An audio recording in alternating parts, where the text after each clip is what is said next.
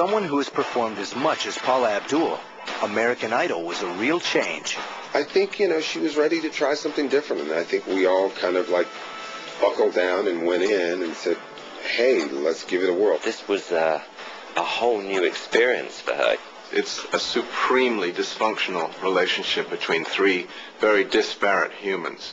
And it's just complete guilty pleasure for me and I think a lot of Americans uh, to watch. According to Simon, I didn't have a personality before he came along. This huge sort of love-hate relationship between her and Simon developed. There are times that uh, on American Idol, when Randy Jackson is, is talking and he's on camera, that Simon's poking Paula just to distract her before she has to talk. This character, who sized me up and down, hello, Paula. Mm-hmm. Without question, she wants me. And it was like, let's see how, let's see how long it's going to take before she wants to quit. And my first day, I threatened to quit. The first kid comes in and he wasn't very good.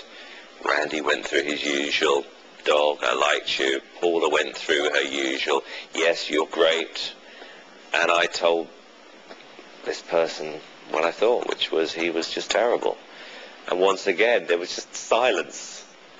And it was an interesting first day, to say the least. They've had their tough times together. I think now he he just he, he feels like he knows how to drive her crazy and lives to do it. She brings kind of a um, an in between of the two kind of crazy guy.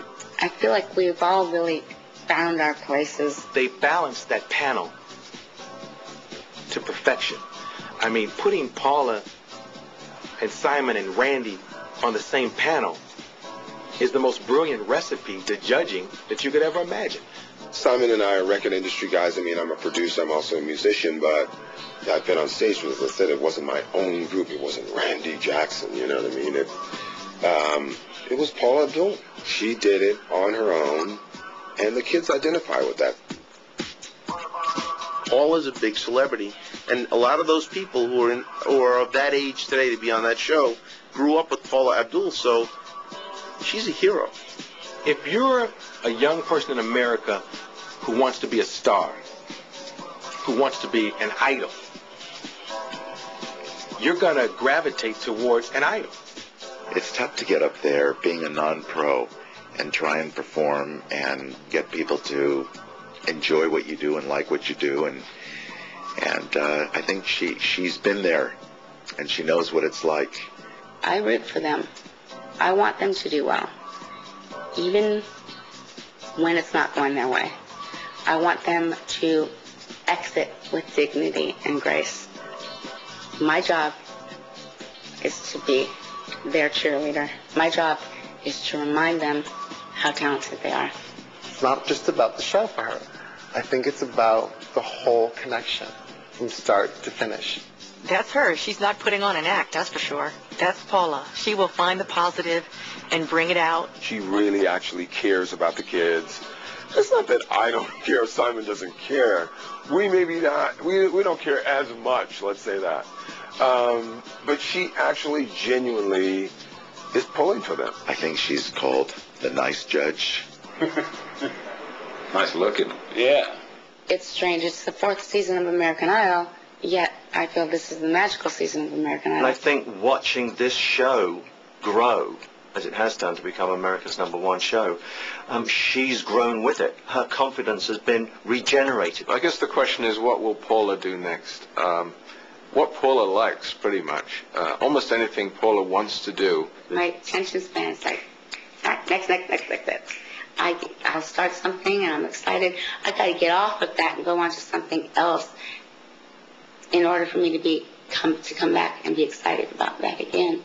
She's always trying to be original and come up with, with new stuff and, and she could be driving along and you would think she was nuts because, you know, she, she could be driving along and all of a sudden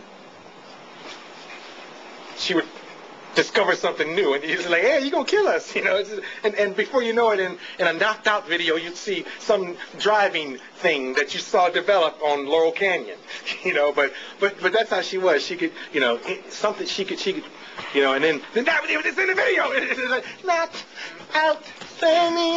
You know, I mean, anything she did could become choreography because she was always reaching and striving to find new moves, new stuff. The greats will sustain. Great things always happen to the ones that really got it going on. There's nothing that gets in her way. There's nothing that slows her down. There's nothing that impedes her sheer will and her sheer desire. I think she's got so far to go and so much more to give.